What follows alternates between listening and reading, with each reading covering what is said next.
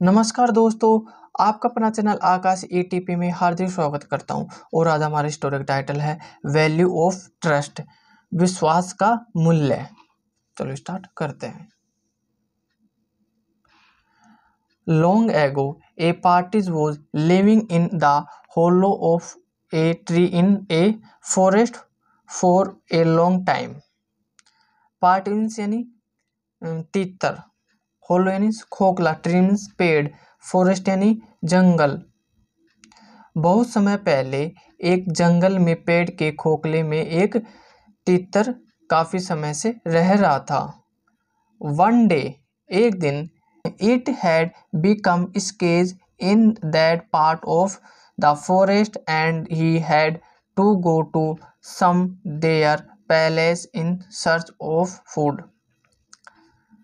Scarce यानी अपर्याप्त या कमी, पार्ट यानी जगह है, फॉरेस्ट यानी जंगल, पैलेस यानी जगह है, सर्च यानी खोजना या तलाश करना, फ़ूड यानी भोजन, और जंगल के उस जगह में भोजन की, भोजन अपर्याप्त था।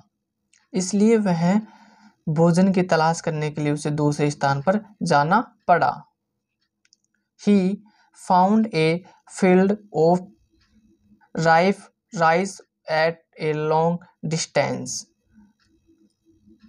Found यानी पाना फ़ील्ड यानी खेत राइफ यानी पका हुआ राइस मीन्स चावल डिस्टेंस यानी दूरी, और उसे कुछ दूरी पर एक पके हुए चावल का खेत मिला।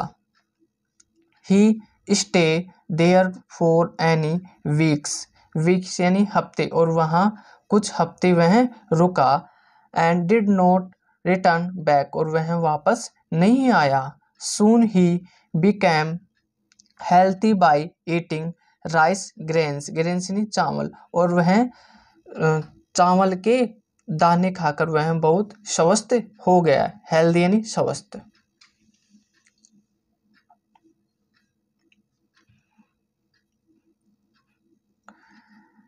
Meanwhile, a rabbit started living in the parties of nest finding in imity. Meanwhile, यानी इस दौरान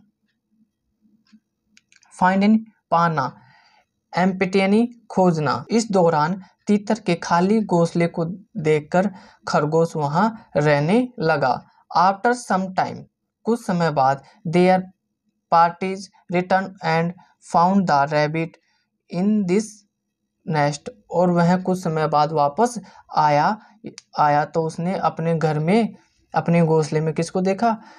खरगोश को देखा। हु आर यू आप कौन हो? What are you doing in my house और तुम मेरे घर में क्या कर रहे हो? द पार्टीज़ आक्स एंगली एंगली ने गुस्से से और तितर ने उसे गुस्से से पूछा। It is mine, and I have been living here for many days, said the rabbit. यह मेरा है। मैं यहाँ कई दिनों से रह रहा हूँ।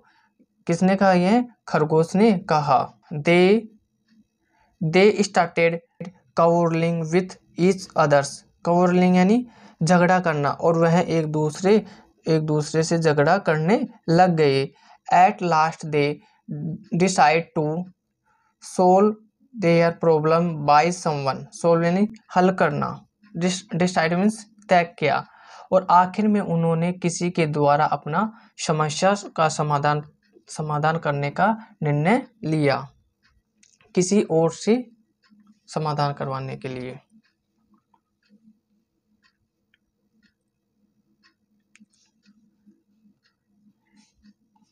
A forest cat had been watching them for quite for some day, some time. Quiet यानी चुपचाप और एक जंगल में उन, एक जंगल में उन, उन्हें उन्हें बिल्ली चुपचाप देख रही थी। He had an eyes on them और उन, और उसकी आँख उन पर थी। देम यानी उन पर।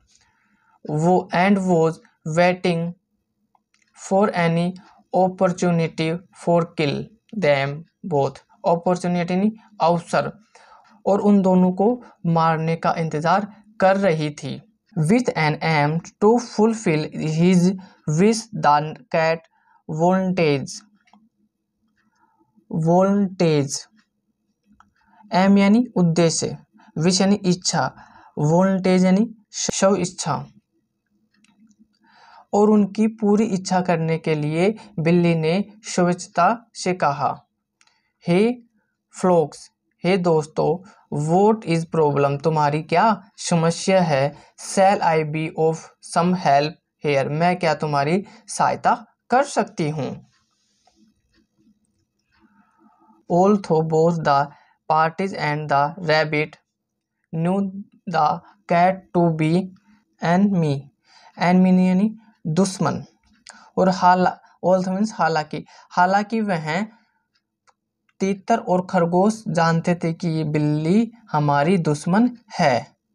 In their misunderstanding they approach the cat misunderstanding यानी गलत फहमी से वे बिल्ली के पास पहुँचे। गलत फहमी से वे बिल्ली के पास पहुँचे। As they near the cat और जैसे ही बिल्ली उनके पास पहुँची the cat was ready to pounce on them pounce means जपकना। जपकना देमिन और जैसे बिल्ली उनके पास पहुँची, वह बिल्ली उनको जपकने के लिए तैयार थी।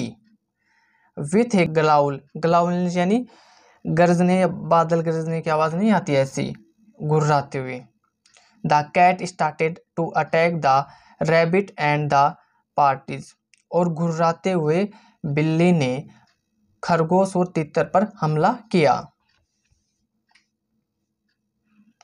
Both the friend run in different distance to save their live और वे दोनों अपनी जान बचाने के लिए अलग अलग रास्ते में भागे।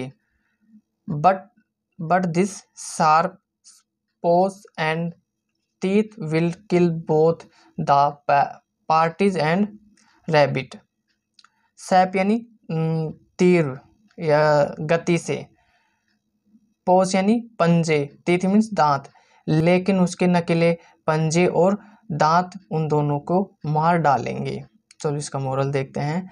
ट्रस्ट नोट अनस्टेबल यानी कि अविश्वसनीय पर भरोसा मत करो। यानी किसी पर भरोसा मत करो। कैसी लगी स्टोरी अगर थोड़ी भी पसंद आए तो लाइक शेयर एंड सब्सक्राइब करें। आपका दिन शुभ हो। Thank you